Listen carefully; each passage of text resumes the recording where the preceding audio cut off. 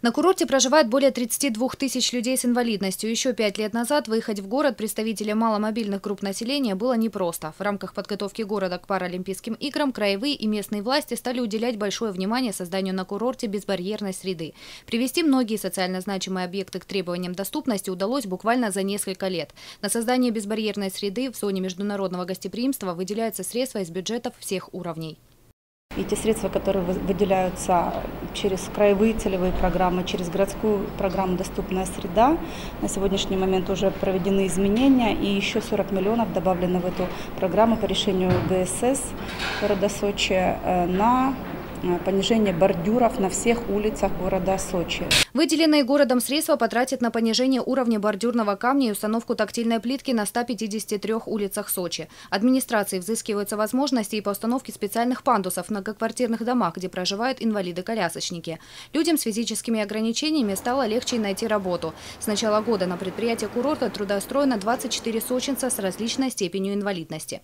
В ходе заседания Совета были отмечены и положительные тенденции в сфере развития здравоохранения для людей с инвалидностью. Особенно это касается детей. Так, если ранее малышей направляли в краевые лечебные учреждения, теперь многие услуги по восстановительной терапии и профилактике оказывает 9 городская больница. Сегодня мы имеем возможность ребенка не просто вести на консультацию в край к какому-то специалисту.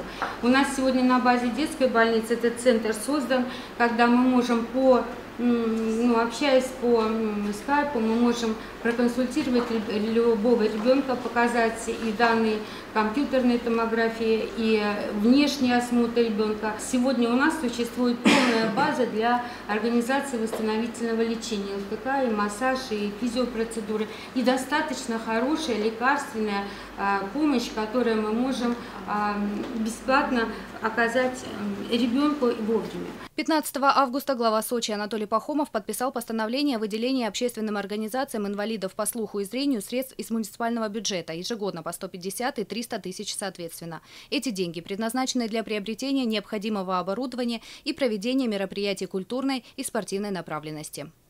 Татьяна Нагорская, Демид Даниловский, телекомпания «ФКТ».